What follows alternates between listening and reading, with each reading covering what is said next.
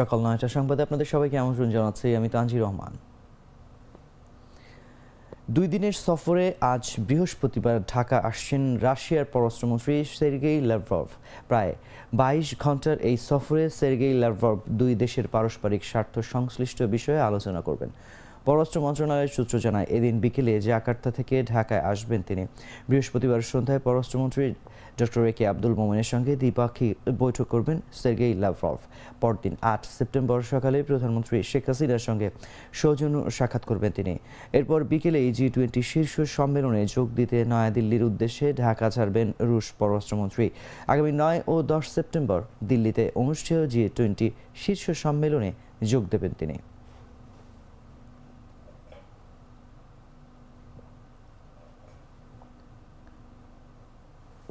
হাইকোর্টের নির্দেশে তারেক রহমানের বক্তব্য সোশ্যাল মিডিয়া থেকে সরাতে বিটিআরসি কাজ শুরু করেছে বলে জানিয়েছেন ডাক ও টেলিযোগাযোগ মন্ত্রী মোস্তফা জব্বার। রাতে কিশোরগঞ্জ জেলার শিল্পকলা একাডেমি মিলনায়তনে ময়মনসিংহ গীতিকা প্রকাশনার শতবর্ষ পূর্তি উদযাপিত অনুষ্ঠানে উদ্বোধকের বক্তব্য শেষে সাংবাদিকদের এক প্রশ্নের জবাবে তিনি কথা বলেন। মন্ত্রী বলেন, হাইকোর্ট বিটিআরসিকে নির্দেশ দিয়েছে, বিটিআরসি তার দায়িত্ব পালন করবেন, এটার মধ্যে প্রশ্নোত্তরের কিছু নেই। হাইকোর্ট যদি আপনাকে নির্দেশ দেন কিছু করার জন্য, ওই দায়িত্ব পালন করতে আপনি বাধ্য, বিটিআরসি তাই করছে। হাইকোর্ট নির্দেশ দিয়েছে, বিটিআরসিকে নির্দেশ দিয়েছে বিটিআরসি তার দায়িত্ব পালন করবে, এটার মধ্যে প্রস্তুত্তরের কিছু নাই। হ্যাঁ সুতরাং আপনাকে নির্দেশ দেয় কিছু করার জন্য। ওই দায়িত্ব পালন করতে আপনি বাধ্য। তো বিটিআরসি তাই করছে। আমরা এক সেকেন্ডের জন্য কাজ বন্ধ রাখি না। দয়া করে এটা বোঝার চেষ্টা করেন যে বিটিআরসি চব্বিশ ঘণ্টা কাজ করে এবং যে কাজগুলো তার আওতার মধ্যে আছে সেগুলো করে যেগুলো তার দায়িত্বের মধ্যে আছে সেগুলো করে। আদালত যা নির্দেশ দেয় সেই নির্দেশ তারা সম্পূর্ণভাবে বাস্তবায়ন করে। এখন করছে ভবিষ্যতে করবে মুন্সীগঞ্জ সদরের আধারা ইউনিয়নে আওয়ামী লীগের দুই পক্ষের সংঘর্ষে সাত মাসের শিশুসহ ছয়জন গুলিবিদ্ধ হয়েছেন। এদের মধ্যে চারজনকে উন্নত চিকিৎসার জন্য ঢাকায় পাঠানো হয়েছে। দুজন মুন্সীগঞ্জ জেনারেল হাসপাতালে চিকিৎসাধীন। বুধবার সন্ধ্যায় ইউনিয়নের সোলারচর এলাকায় ইউনিয়ন আওয়ামী লীগের সাধারণ সম্পাদক সুরজ গ্রুপের সঙ্গে স্থানীয় আওয়ামী লীগ নেতা ও ইউপি মেম্বার মুজিবুর গ্রুপের মধ্যে এ সংঘর্ষ ও গোলাগুলির ঘটনা ঘটে। সংঘর্ষের পর থেকে এলাকায় থমথমে পরিস্থিতি বিরাজ করছে। উদ্ভূত পরিস্থিতি এড়াতে অতিরিক্ত পুলিশ মোতায়েন করা হয়েছে।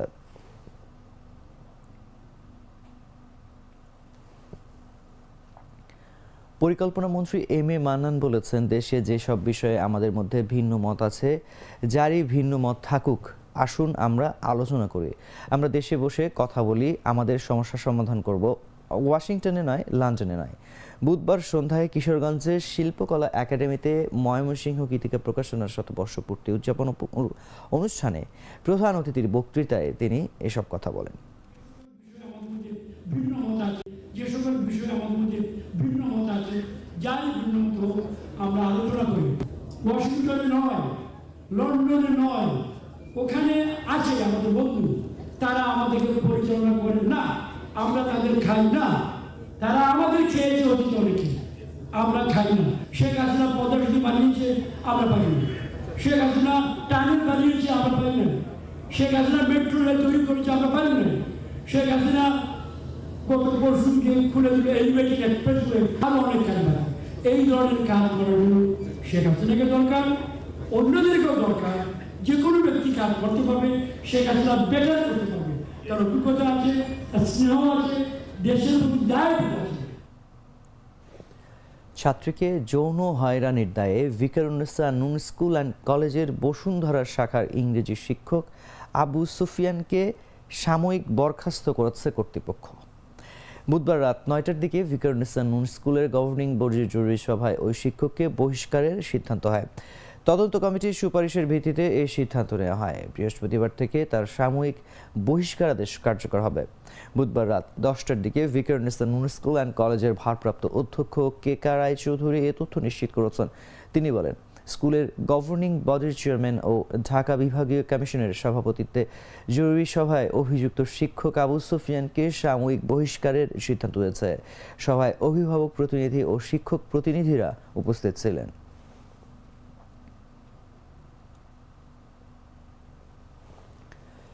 সারা দেশে ডেঙ্গু জ্বরে আক্রান্ত হয়ে গত চব্বিশ ঘন্টায় চোদ্দ জনের মৃত্যু হয়েছে। এ সময় হাসপাতালে ভর্তি হয়েছেন দুই হাজার একশো পনেরো জন ডেঙ্গু রোগী। এ নিয়ে চলতি বছর ডেঙ্গুতে মৃতের সংখ্যা বেড়ে দাঁড়িয়েছে ছয়শো একাত্তর জনে। বুধবার স্বাস্থ্য অধিদপ্তরের health emergency operation centre control রুমের ইনচার্জ মোহাম্মদ জাহিদুল ইসলাম সই করা ডেঙ্গু বিষয়ক নিয়মিত প্রতিবেদনে এই তথ্য জানা হয়েছে। স্বাস্থ্য অধিদপ্তর জানায়, মঙ্গলবার সকাল আটটা থেকে বুধবার সকাল আটটা পর্যন্ত সারা দেশে ডেঙ্গু আক্রান্ত হয়ে হাসপাতালে ভর্তি হওয়া দুই হাজার একশো পনেরো জনের মধ্যে ঢাকার বাসিন্দা আটশো তেত্রিশ এবং ঢাকার বাইরের এক হাজার দুইশো বিরাশি জন। অন্যদিকে গত চব্বিশ ঘন্টায় মারা যাওয়া চোদ্দ জনের মধ্যে ঢাকার বাসিন্দা দশজন ঢাকার বাইরের চারজন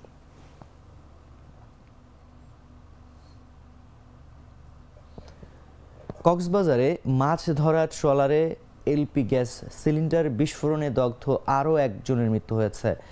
মঙ্গলবার দিনগত রাতে চট্টগ্রাম মেডিকেল কলেজ হাসপাতালে চিকিৎসাধীন অবস্থায় শফিকুল ইসলাম নামে ওই জেলে মারা যান। এ নিয়ে এই ঘটনায় মারা গেছেন ছয়জন তাদের মধ্যে পাঁচজন চমেক হাসপাতাল এবং একজন ঢাকায় নেওয়ার পথে মারা যান। হাসপাতালের পরিচালক ব্রিগেডিয়ার জেনারেল শামীম আহসান।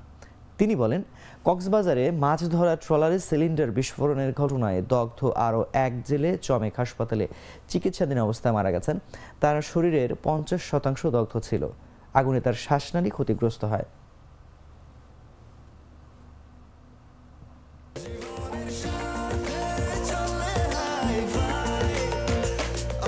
স্বাস্থ্যকর অল টাইম হানিকম সব সময় অল টাইম হেলদি লাইফ যুক্তরাষ্ট্রের নাগরিকত্ব বা গ্রিন কার্ড পাওয়া অভিবাসীদের কাছে অনেকটাই স্বপ্নের মতো।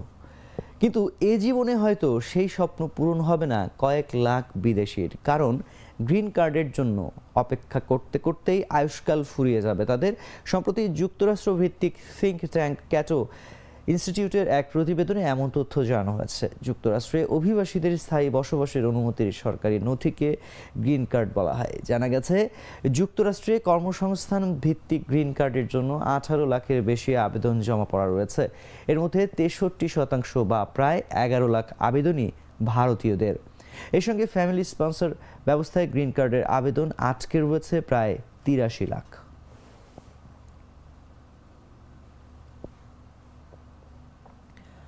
অবিবাহিত বা সঙ্গীবিহীন পুরুষদের আপাতত আশ্রয় না দেওয়ার সিদ্ধান্ত নিয়েছে বেলজিয়াম। এ নিয়ে কড়া সমালোচনার মুখে পড়েছে ইউরোপীয় দেশটি। বেলজিয়াম সরকারের যুক্তি, অভ্যর্থনা কেন্দ্রগুলোতে প্রথমে পরিবার, নারী ও শিশুরা প্রাধান্য পাবে, তারপর বাকিরা। তবে সরকারের এই সিদ্ধান্তের তীব্র সমালোচনা করেছে বিভিন্ন মহল। হাজার হাজার মানুষ দীর্ঘদিন ধরে বেলজিয়ামে সুরক্ষার সন্ধান করলেও তাদের ঠিকমতো আশ্রয় দিতে ব্যর্থ প্রশাসন। ব্রাসেলসের প্রধান প্রসেসিং সেন্টারের বাইরের রাস্তায় তাঁবুর দীর্ঘ লাইন দেশটির সুনাম নষ্ট করছে বললে ভুল হবে না।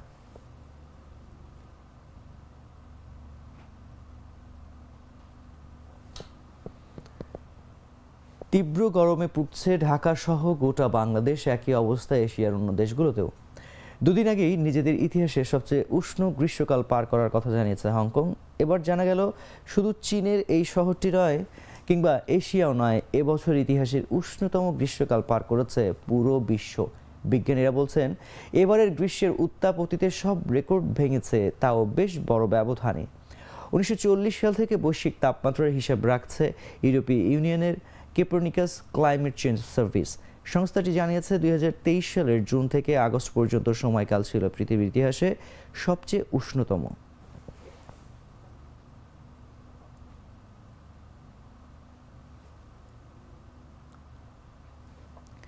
বাঁচা মরার ম্যাচে আফগানিস্তানকে উড়িয়ে দিয়ে এশিয়া কাপের সুপার ফোরে পা রেখেছিল বাংলাদেশ। কিন্তু সুপার ফোর পর্বের প্রথম ম্যাচে আবারও সেই ব্যাটিং ব্যর্থতা। লাহোরের গাদ্দাফি স্টেডিয়ামে মাত্র একশো তিরানব্বই রানেই গুটিয়ে গেল বাংলাদেশের ইনিংস। পাকিস্তান ম্যাচটা জিতে নিল সাত উইকেটের তেষট্টি বল হাতে রেখেই। বোর্ডে বেশি রান নেই, তারপরও টাইগার বোলাররা অনেকটাই সময় চাপে রেখেছিলেন পাকিস্তানি ব্যাটারদের। পঞ্চান্ন বলে পঁয়ত্রিশ রান তোলা পাকিস্তানের উদ্বোধনী জুটিটি ভাঙেন শরীফুল ইসলাম। তার দুর্দান্ত ডেলিভারি মিস করে এলবিডাব্লিউ হয়েছে ফাখর জামান এরপর বাবর আজমকে বোল্ড করেন তাসকিন আহমেদ, মোহাম্মদ রিজওয়ান আর ইমামুল হক মিলে দলকে সহজ জয়ের পথে গড়ে দেন। তাদের একশো চার বলে পঁচাশি রানের জুটিতে ম্যাচ নিজেদের করে নেয় পাকিস্তান। এর আগে শাহিন শাফরিদি, নাসিম শাহ, হারিস রৌফদের তোপে সাতচল্লিশ রান তুলতেই বাংলাদেশের চলে গিয়েছিল চার উইকেট। আটত্রিশ দশমিক চার ওভারে একশো তিরানব্বই রানেই গুটিয়ে যায় বাংলাদেশ ইনিংস